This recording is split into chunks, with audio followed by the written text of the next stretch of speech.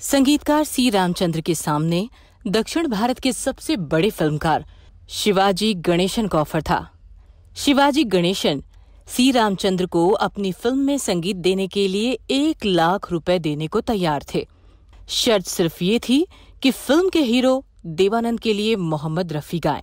संगीतकार सी रामचंद्र मोहम्मद रफी को बहुत ज़्यादा पसंद नहीं करते थे। उनकी पहली पसंद थे गायक तलत महमूद। लेकिन सी. रामचंद्र दक्षिण भारत की इतनी बड़ी फिल्मी हस्ती शिवाजी गणेशन को नाराज़ भी नहीं करना चाहते थे। फिर उन्हें इसके लिए एक लाख रुपया मिल रहा था। फिर क्या किया सी. रामचंद्र ने? बताएँगे आपको। आप बस कीजिए थोड़ा इंतज़ार और देखते रहिए ब्लैक एंड व्हाइट।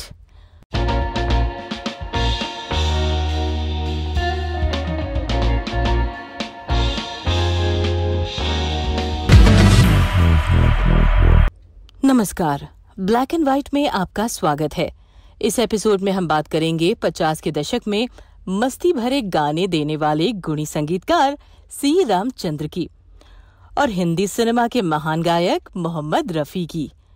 दुनिया जानती है कि संगीतकार सी रामचंद्र मोहम्मद रफी को बहुत ज़्यादा पसंद नहीं करते थे। अनिल विश्वास और सलील चौधरी की तरह सी रामचंद्र भी मोहम्मद रफी से तभी गाने गवाते जब ऐसा करना उनके लिए ज़रूरी होता, या कोई मजबूरी पेश आती। इन तीनों संगीतकारों की तब पहली पसंद हुआ करते थे गायक तलत महमूद। शायद यही वजह है कि मोहम्मद रफी ने सी रामचंद्र के लिए कुल सतहत्तर गाने गाए, जिनमें तेईस सोलो गाने हैं, जबकि संगीतकार सलील चौधरी के लिए मोहम्मद रफी ने मात्र पच्चीस गाने गाए, जिसमें पंद्रह सोलो हैं। दोस्तों, सी रामचंद्र और मोहम्मद रफी के बीच भले ही प्यार, मोहब्बत वाली बात नहीं थी, लेकिन उनका रिश्ता बड़ा पुराना था।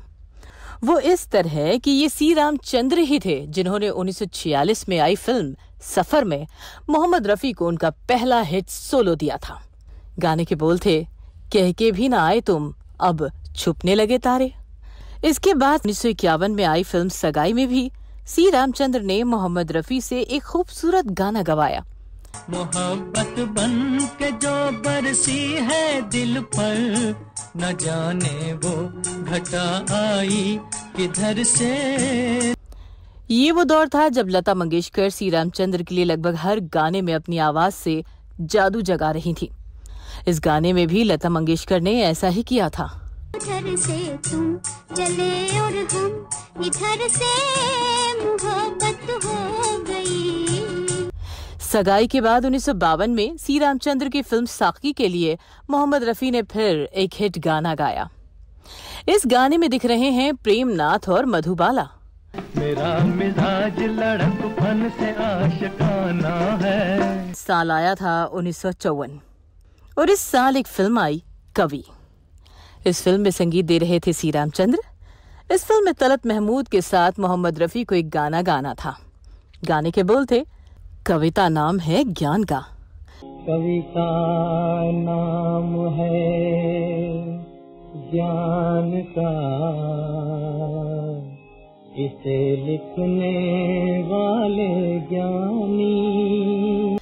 कहा जाता है कि इस गाने की रिकॉर्डिंग के दौरान संगीतकार सी रामचंद्र और गायक मोहम्मद रफी के बीच गर्मा गर्म बहस हो गई थी। जानकारों का मानना है कि ये पहला मौका था जब मोहम्मद रफी ने किसी को पलट कर जवाब दिया था।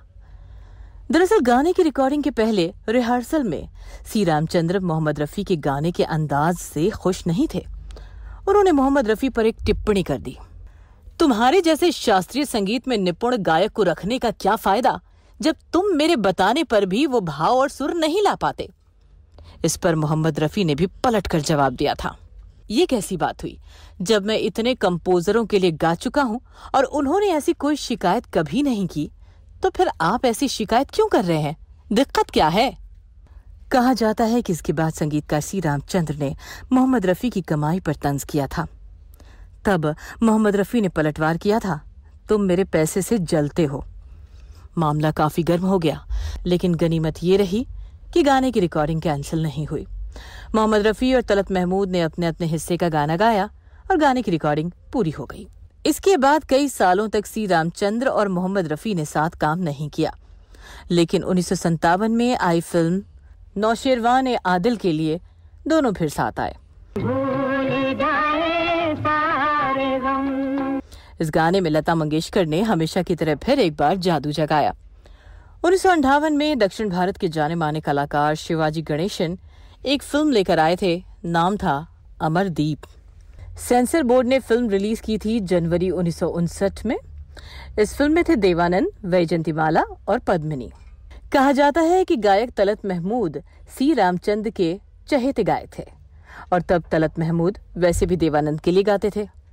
लेकिन दिक्कत ये हुई कि शिवाजी गणेशन ने सी रामचंद्र के सामने ये शर्त रख दी कि उन्हें देवानंद के लिए मोहम्मद रफी की आवाज़ चाहिए। शिवाजी गणेशन बदले में इस फ़िल्म के लिए सी रामचंद्र को एक लाख रुपया बतौर फ़ीस देने को तैयार हो गए। उन दिनों सी रामचंद्र का मार्केट रेट भी एक लाख रुपया ही था।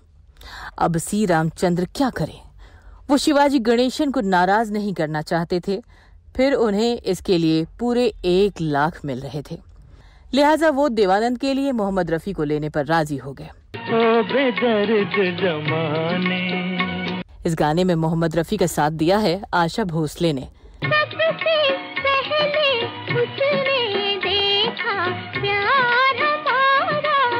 इस गाने का एक सैड वर्जन भी है।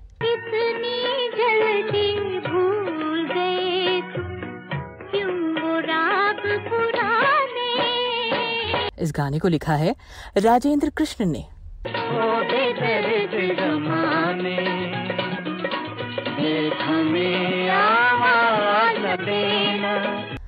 कहा जाता है कि उन्नीस में फ़िल्म अमरदीप के दौरान ही लता मंगेशकर से उनका रिश्ता टूट गया था। और इस गाने के साथ फ़िल्म के बाकी बचे गानों को भी आशा भोसले को गाना पड़ा था। किताबें बताती हैं कि अमरदीप और उन्नीस सौ उनसठ में ही आई फ़िल्म पैगाम। आखिरी दो ऐसी फ़िल्में थीं, जिनके लिए संगीतकार सी रामचंद्र को एक लाख रुपया दिया गया था। ये दोनों ही फ़िल्में साउथ की थीं, और ये कैसा संयोग था कि दोनों ही फ़िल्मों में मोहम्मद रफी थे, जो संगीतकार सी रामचंद्र की पहली पसंद नहीं थे।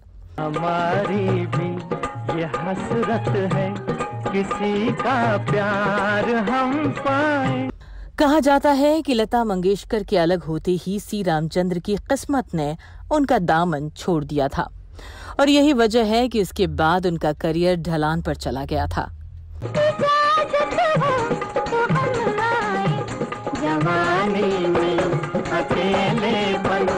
इस एपिसोड में आज बस इतना ही। अगले एपिसोड में आपसे फिर होगी मुलाकात। तब तक के लिए हमें इजाज़त दीजिए। नमस्कार।